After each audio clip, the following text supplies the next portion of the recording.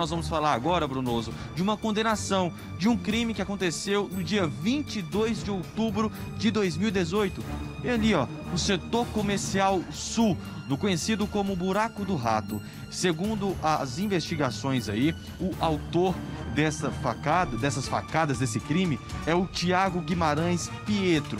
Ele estava aí com essa vítima, uma mulher identificada como Tânia Cássia Rodrigues da Silva, na tarde, por volta de meio-dia, na tarde do dia 22 de outubro de 2018, quando eles começaram a discutir.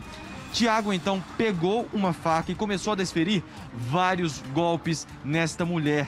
Natânia, ela chegou a ser socorrida pelo Corpo de Bombeiros Militar na época, encaminhado para o hospital de base de Brasília, que fica inclusive a poucos metros, acho que na verdade cerca de um quilômetro aí, de onde tudo aconteceu, Brunoso, mas ela não resistiu aos ferimentos. As investigações começaram e a polícia identificou o Tiago. E agora ele foi condenado a 24 anos de prisão. A condenação saiu na semana passada.